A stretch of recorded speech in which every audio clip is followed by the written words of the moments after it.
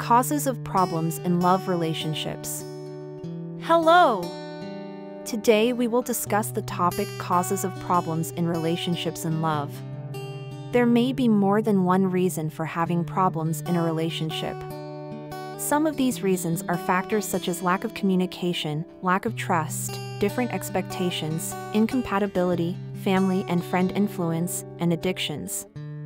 When communication is not established in the right way at the right time in the relationship, problems such as partners misunderstanding each other or not understanding each other's feelings sufficiently may arise. Lack of trust is also at the root of many relationship problems. When there is no trust, a relationship may lack independence and freedom. It should not be forgotten that different expectations can also cause problems from time to time.